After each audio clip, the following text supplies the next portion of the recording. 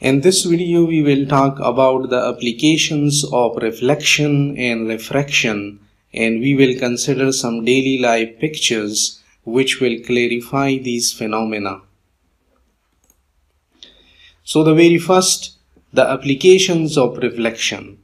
We know that reflection is a phenomenon in which light waves bounce back off a surface and consider this a light ray which is hitting this surface and the surface is a smooth surface and this light ray is bouncing back off this surface.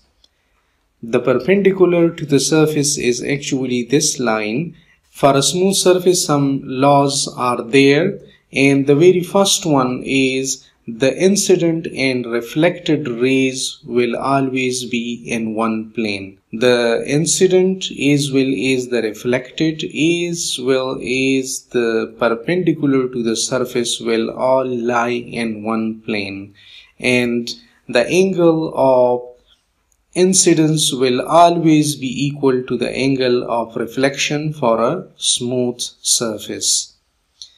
We can have a smooth surface and a rough surface. So a smooth surface, those laws will be valid for the smooth surface only and we will have the angle of incidence equal to the angle of reflection and this we call specular reflection. When we will have a rough surface, those laws are not valid for a rough surface and we cause we call it diffused reflectance.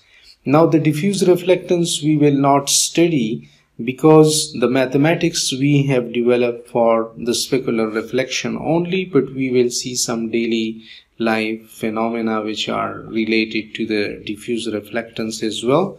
This is one of the example. Now here the water is calm and it behaves like a smooth surface and it just look like a mirror and this mountain image we can see very clearly in this water. So it's an example of the specular reflection.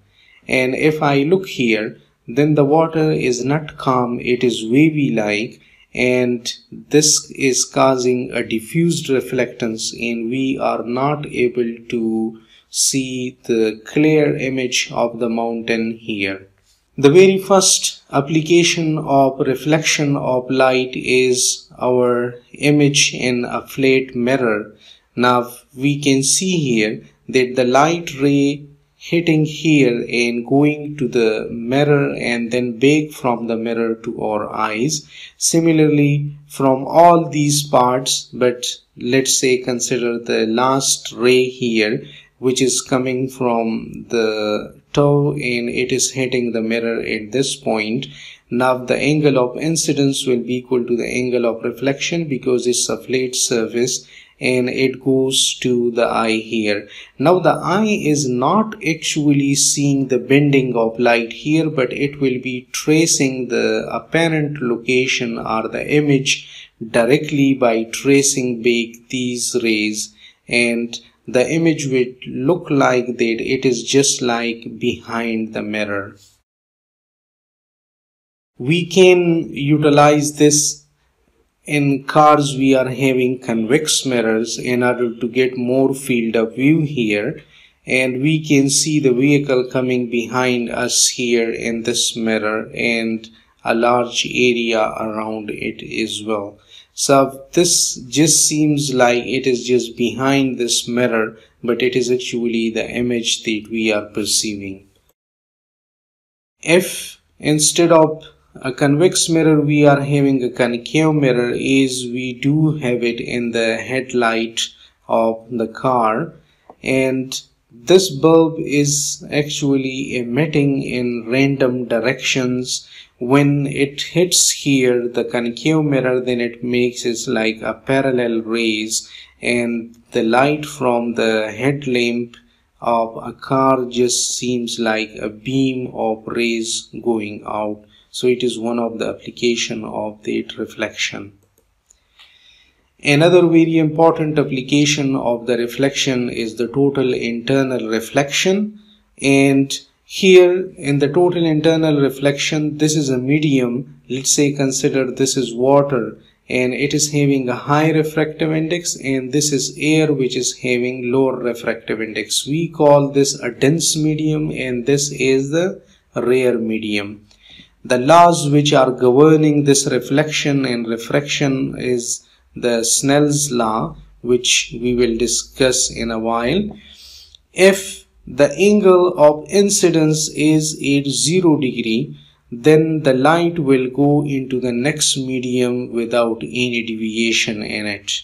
So it will totally transmit and there will be no reflection at the boundary and no deviation will occur while moving from one medium into another medium when we throw it at a slanted angle for example 15 degree here then this is the perpendicular line and the angle of incidence here is equal to the angle of reflection here. But as this is a rare medium then the light ray will refract and the angle of refraction will be more than the angle of reflection because this is a rare medium. So it will go away from the perpendicular line here. If we increase the angle to 30 degree then reflection will be at 30 degree because it's a smooth surface while the refraction will be at more angle and it will go more away from the perpendicular line.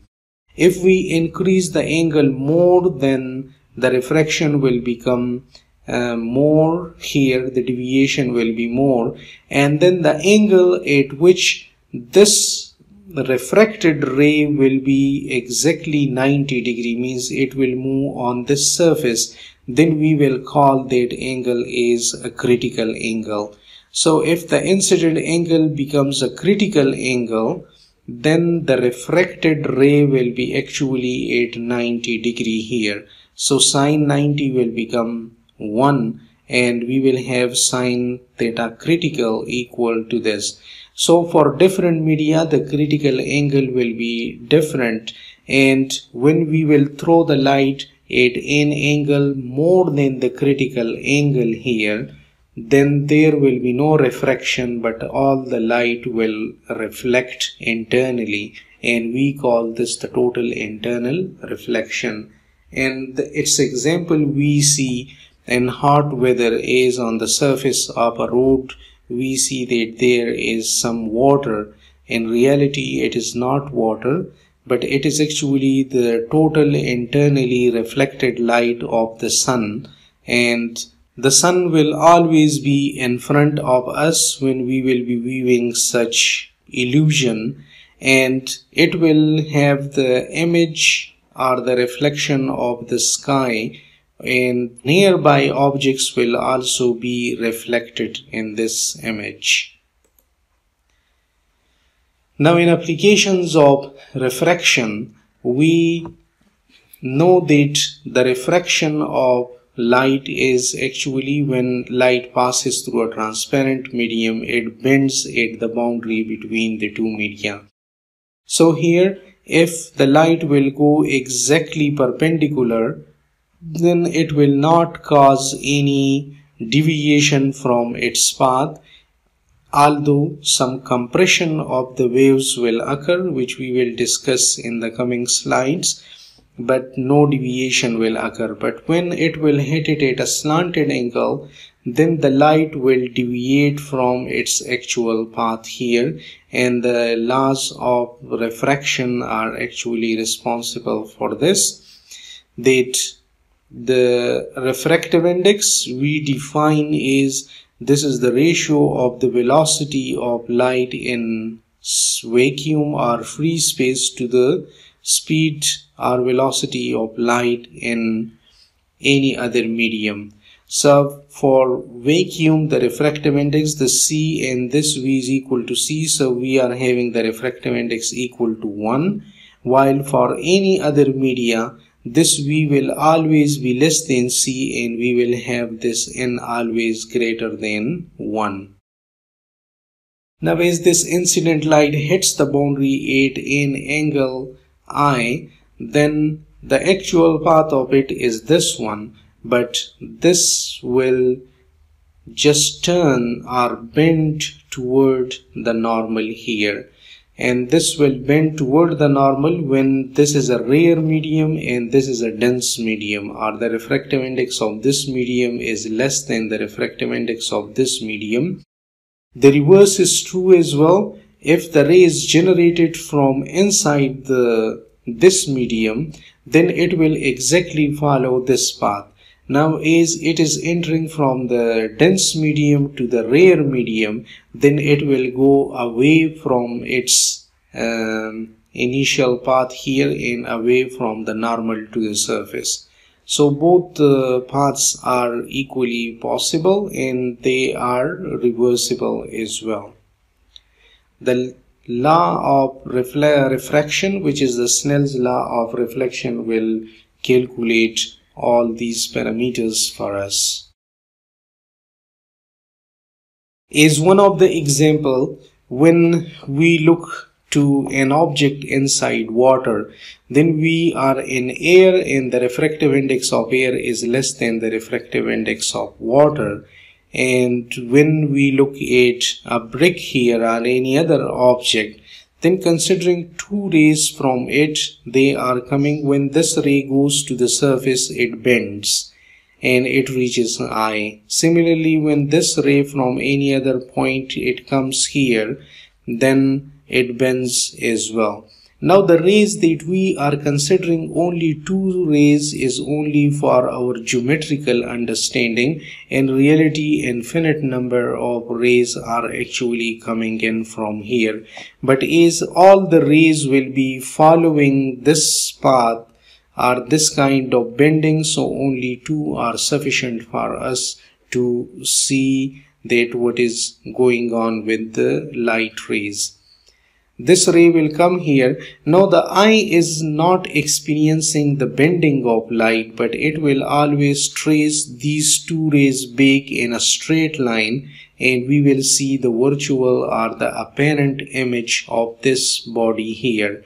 So this is not the actual position of the brick here but in apparent position because I will always trace back these rays in a straight line. We can see that this is slightly deviated from this in it an upper point in this pond here. If we look at the pencil image here then the pencil will also seems bended to us and it will also follow the same principle of bending of light rays and I will be tracing it back in a straight line. So we will see the edge of the pencil instead of this point we will see it at this point. So whenever light travels between different media we will always see the apparent location and not the actual location of the body